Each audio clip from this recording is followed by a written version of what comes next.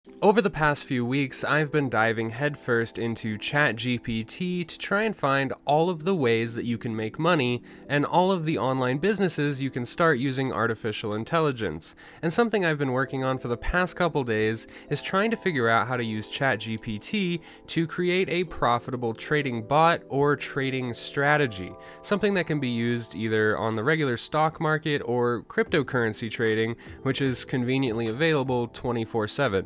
So let's jump in and see what I've done. Alright, so we are over here on a platform that I'm sure many of you are familiar with. This is the TradingView charting platform, which is completely free to use. Something you guys may not have noticed though is on the bottom there is a little up caret that says show panel. Now if we click on this, it'll bring up something called the Pine Editor.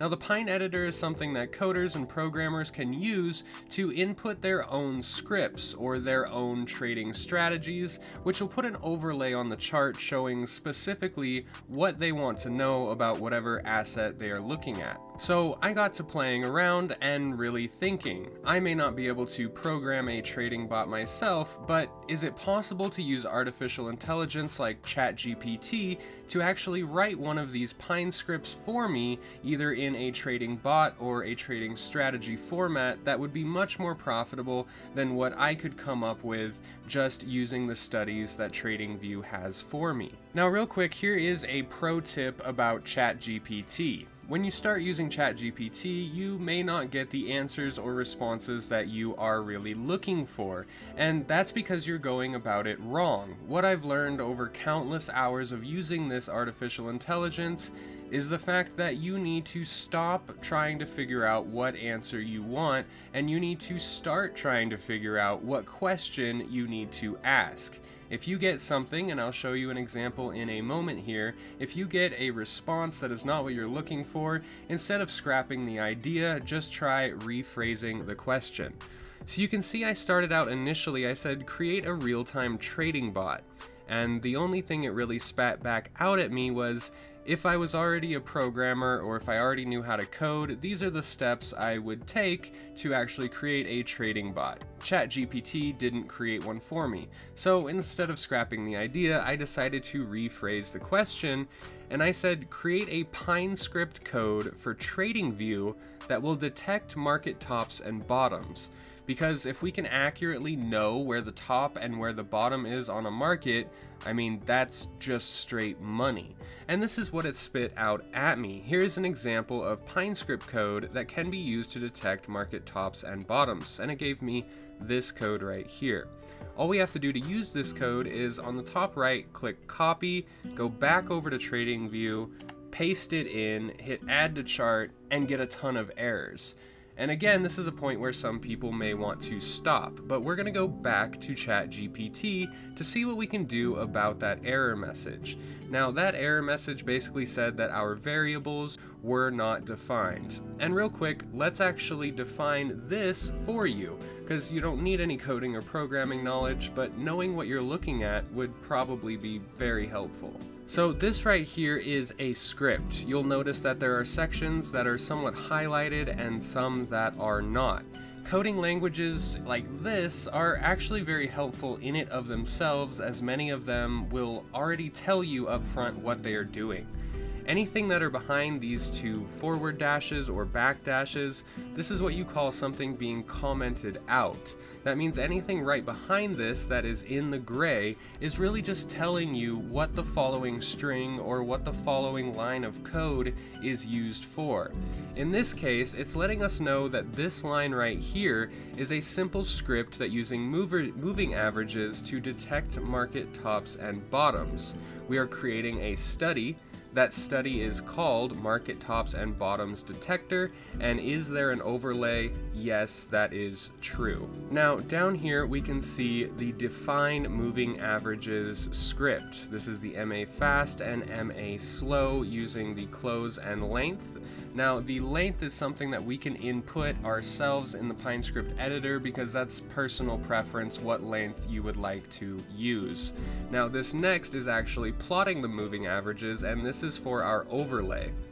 This is saying that whatever we find in the define here, whatever we find, we're then going to take and plot or put that overlay over our chart showing us what it just did. Now a little bit lower we have the actual conditions that this will use for market tops and bottoms and it's basically saying if yes and no or if true and false. If something is close to what we define as a market top, it will true plot that on our screen.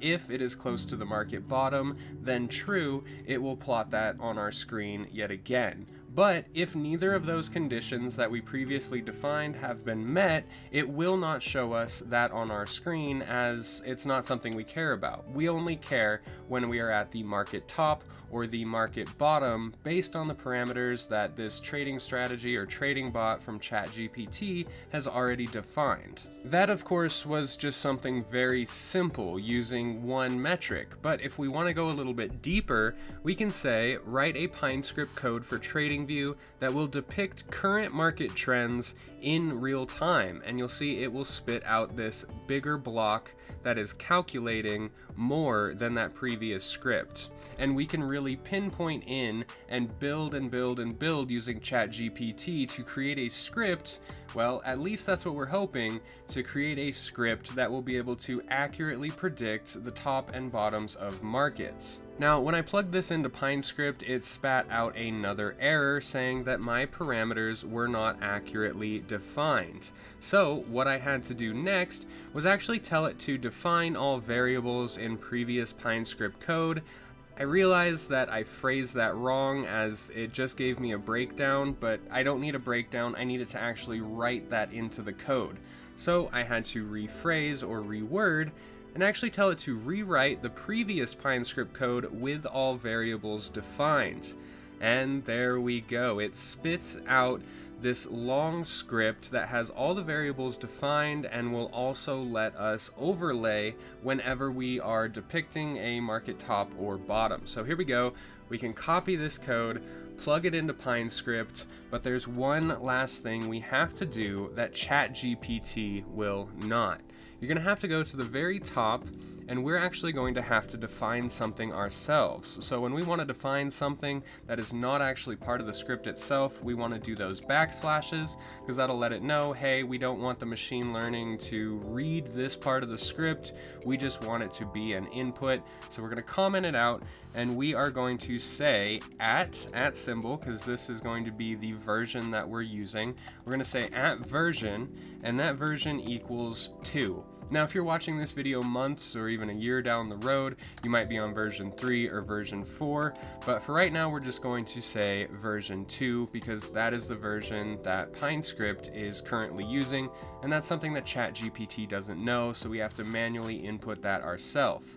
Now, once we do that, we can just click add to chart or publish script. Now, there is a real chance that you may stumble across a number of errors inside PineScript. However, all you need to do is copy those errors and plug them back into ChatGPT, and it will continuously rewrite your trading bot or trading strategy until it is usable. Just remember, Every time you go to PineScript and input a new code, you need to let the system know that you are using at version equals 2. This of course is only one of many ways that I have learned how to utilize ChatGPT and artificial intelligence to make money online or to make passive income in 2023. This is all brand new to everyone, so the sooner you jump on it, the sooner you can start making money.